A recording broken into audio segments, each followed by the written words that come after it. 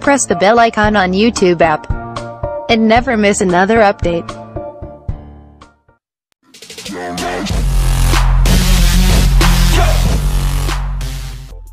दोस्तों, स्वागत है आप सभी को मेरे चैनल पर। मैं वापस आ गया हूँ एक और वीडियो के साथ आप सबको एंटरटेन करने के लिए। दोस्तों, मैंने खरीदा है Rynox Storm Evo level two jacket जी हाँ मैंने खरीदा वो जैकेट क्योंकि जो मेरा पुराना जैकेट था बाइकिंग ब्रदरहुड से आई लिव आई राइड वो फट चुका है। हालाँकि मैंने उसे ज़्यादा राइड्स पे यूज़ नहीं किया और वॉशिंग के टाइम पे भी काफ़ी ध्यान रख के वॉश किया बट उसका मटेरियल इतना वीक था कि वो फट चुका है।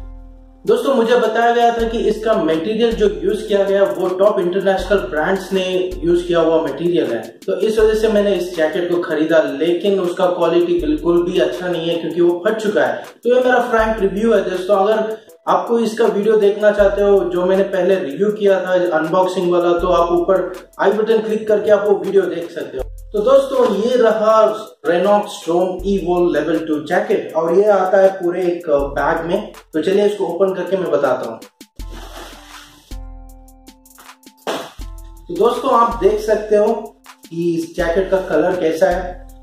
जो कलर कॉम्बिनेशन काफ़ी अच्छा है दोस्तों, ज़्यादा ब्राइट नहीं है। मैं ब्राइट नहीं चाहता था क्योंकि आप जानते हो राइट्स पे जाते हैं, हम लोग व्हाइट वगैरह होगा तो गंदा हो जाता है। तो इसलिए मैंने ज़्यादा ब्राइट कलर्स में नहीं देखा, लेकिन जो भी कलर इस्तेमाल किया गया है ग्रे पे है ब्लैक है, यहाँ पर थोड़ा बहुत व्हाइट और रेड भी यूज़ किया गया है। काफ़ी अच्छा दिखता है और काफ़ी प्रीमियम दिखता है दोस्तों। लेवल टू का मतलब ये होता है दोस्तों, जो गार्ड्स लेवल वन में यूज़ किए रहते हैं, वो थोड़े पतले होते हैं। इसके जो गार्ड्स होते हैं, वो थिक होते हैं। तो आपको ज़्यादा प्रोटेक्शन मिलता है, इसलिए उसको लेवल टू गार्ड्स बोला जाता है। और इस जैकेट में चेस्ट पे भी आपको गार्ड मिलेगा। लेवल वन में आपको नहीं मिलेगा, लेकिन लेवल टू जैकेट्स पे आपको चेस्ट पे भी वो गार्ड वो प्रोटेक्शन मिलेगा। मुझे लगता है दोस्तों, ये एल्यूमिनियम का है तो एक्स्ट्रा प्रोटेक्शन मिलेगा हमें। और मैं आपको बता देता हूँ दोस्तों, इस इस जैकेट में shoulder guard, elbow, chest, back. तो इतने सारे आपको गार्ड्स मिलेंगे इस जैकेट में। चलिए मैं आपको इसको पहन के बताता हूँ। तो दोस्तों, ये जैकेट आता है विंटर लाइनर और रेन लाइनर के साथ, जो कि आप इस्तेमाल कर सकते हो। राइट पे अगर बारिश आ गया तो आप ये रेन वाला लाइनर यूज़ कर सकते हो। अगर ठंड ज़्यादा है तो आप ये विंटर वाला लाइनर भी यूज़ कर सकते हो। लेकिन मैं यूज़ नहीं करने वाला क्योंकि मुझे राइड्स पे ज़रूरत नहीं है। मैं लॉन्ग राइड्स नहीं करता हूँ, इतने लॉन्ग राइड्स नहीं करता हूँ, जहाँ पर बारिश वगैरह है। मैं सेफ्टी का ख्याल करता हूँ तो उस टाइम पे बारिश में मैं गाड़ी नहीं चलाना चाहता। तो दोस्तों, इस जैकेट के बारे में मैं बताना चाहता हूँ, आप यहाँ पर देख सकते हो। अगर ये आपका रिस्ट आउट टाइट करना है लूज है तो आप वेल प्रो के मदद से आप टाइट भी कर सकते हो इसको। और यहाँ पर भी आम पे भी दिया, अगर आपको इसको आउट टाइट करना है तो यहाँ पर भी टाइट कर सकते हो। और आपके बाइसेप्स पे भी आप टाइट कर सकते हो। ये ऑप्शन अच्छा है दोस्तों, क्योंकि लेवल वन में मेरे पास जो है जैकेट उसमें ये ऑप्शन नहीं दिया गया, यहाँ पर दिया गया, लेकिन फोरम पे नहीं दिया गया। यहाँ पर तीन बेल्ट दिए गए आपको टाइट करने के लिए अगर आपका हाथ लूज है। और दूसरा दोस्तों, यहाँ पर देख सकते हो पॉकेट दिया गया है जिप जिप के साथ अगर आप वॉलेट वगैरह रखना चाहते हो तो रख सकते हो। एक और पॉकेट दिया गया है राइट साइड यहाँ पर भी रख सकते हो। तो एक और पॉकेट मैंने देखा दोस्तों, अंदर दिया गया है और उसको वेलक्रो लॉक दिया गया है यहाँ पर। यहाँ पर भी आप अपना मोबाइल या वॉलेट रख सकते हो। दूसरे साइड नहीं दिया गया है।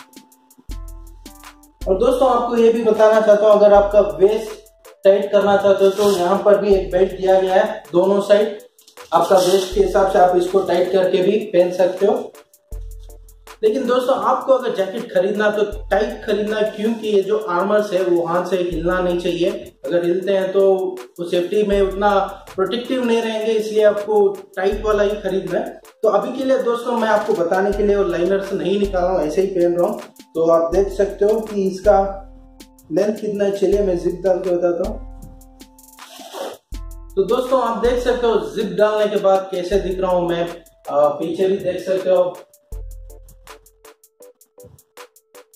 काफ़ी अच्छा महसूस हो रहा है दोस्तों, क्योंकि इसको पहनने के बाद एक कॉन्फिडेंस मिलेगा आपको, आपके पास प्रोटेक्टिव राइडिंग जैकेट है तो अगर ऐसा कोई प्रॉब्लम हो गया रोड पे या कोई छोटा मोटा एक्सीडेंट हो गया तो ये जैकेट आपको बचा लेगा। तो दोस्तों, मैंने खरीदा था ग्लव्स जो कि मैंने पहले रिव्यू कर चुका हूँ। तो मैं उनको पहन के दिखाता हूँ, क्योंकि ये कलर मैंने सेलेक्ट किया था इस जैकेट को मैच करने के लिए। चलिए, मैं वो भी पहन के दिखा देता हूँ आपको। ये देखिए, कुछ इस तरह से दिखेगा, जब आप ये ग्लव्स और ये जैकेट पहन के आप रोड पे बाइक चला रहे हो तो आपके आर्म्स भी पूरा प्रोटेक्ट हो रहे हैं यहाँ पर। इस ग्लव्स की वजह से आप देख सकते हो किस तरह से दिख रहा हूँ मैं। ग्लव्स के साथ और ये जैकेट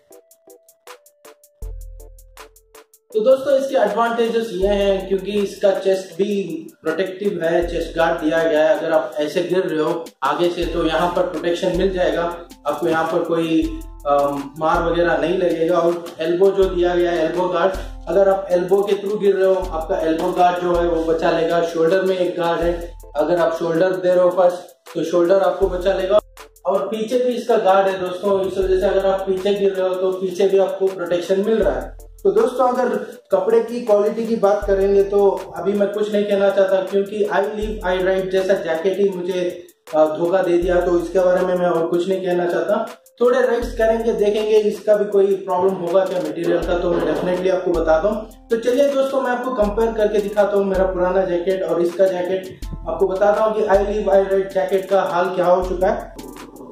तो दोस्तों, ये जो है लेवल वन जैकेट मैं पहना हूँ लेवल टू जैकेट इसको लेवल वन इसलिए बोला जाता है क्योंकि इसका चेस्ट प्रोटेक्शन नहीं मिलता है चेस्ट गार्ड नहीं रहता है। और इसमें जो गार्ड्स अंदर यूज़ किए रहते हैं वो, उसका थिकनेस कम होता है। तो इस वजह से इनको लेवल वन बोला जाता है और जो मैं पहना हूँ, उसको लेवल टू बोला जाता है। दोस्तों, ये जो बाइकिंग ब्रदरहुड की जैकेट मैंने खरीदी थी, इसका तो वेलक्रो जो नेक लॉक होता है, वो फट चुका था। जैसे कि मैंने खरीद के तीन महीने हुआ था, ये फट चुका था। लेकिन मेन प्रॉब्लम ये हुआ कि दोस्तों, यहाँ पर देखिए शोल्डर पे फट गया। मैंने इसको बहुत अच्छी तरह से संभाल के रखा था, क्योंकि साढ़े सात हज़ार रुपए देके खरीदा था, और वॉशिंग भी बहुत अच्छी तरह से करता था रफ वॉशिंग नहीं करता था सोप में डिप करके निकालता था। बट उसके बावजूद भी इसका मटेरियल उतने राइट्स के लिए, मेरे ख्याल से कुछ पाँच हज़ार या छह हज़ार किलोमीटर राइड्स किया होगा, या फिर उससे कम ही किया होगा बट उसके बावजूद भी ये जैकेट फट चुका है। तो इसलिए दोस्तों मुझे एक नया जैकेट खरीदना था, क्योंकि वो फट चुका है, मैं वो पहनना नहीं चाहता था, इसलिए मैंने Rynox Storm Evo level two jacket खरीदा है। तो चलिए दोस्तों, मैं वो जैकेट पहन के दिखाता हूँ, आप देखिए कौन सा बेहतर लग रहा है, कौन सा अच्छा लग रहा है। चलिए मैं वो पहन के बताता हूँ।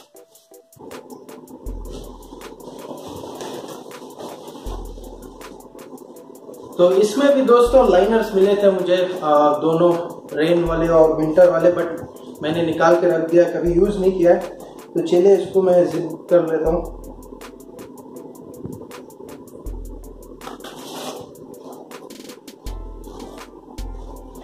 तो दोस्तों, आप देखिए इसको पहनने के बाद कैसा दिख रहा है, कौन सा बेटर है? ये क्योंकि थोड़ा लूज है और इसके लाइनर्स भी उतने थिक नहीं है दोस्तों। अगर इम्पैक्ट होगा तो थोड़ा बहुत मार लग सकता है। लेकिन लेवल टू में क्या होता है थिकनेस ज़्यादा होता है तो ज़्यादा प्रोटेक्शन मिलता है। आप देखिए आगे से और पीछे से किस तरह से दिख रहा है मेरे ऊपर। तो आप कमेंट करके बताइए दोस्तों, कौन सा बेटर है? लेवल वन या लेवल टू रेनॉक्स अच्छा या बाइकिंग ब्रदरहुड मैं अभी ब्रांड्स कंपेयर नहीं कर रहा हूँ दोस्तों, मैं सिर्फ़ क्वालिटी वाइज कंपेयर कर रहा हूँ। वो लेवल टू जैकेट है, उसमें आर्मर्स हैं थिक आर्मर्स है लेवल टू आर्मर्स है, इसलिए वो बेहतर है। लेकिन आप बताइए मुझे, देखने में ये अच्छा है या वो वाला अच्छा है? तो दोस्तों, बस इतना ही। आज के लिए अगर आपको वीडियो पसंद आए तो लाइक कीजिए, दोस्तों के साथ शेयर कीजिए, और सब्सक्राइब तो करना ही है बॉस चलिए, मिलते हैं अगले वीडियो में। तब तक के लिए अलविदा, अपना ख्याल रखिए। बाय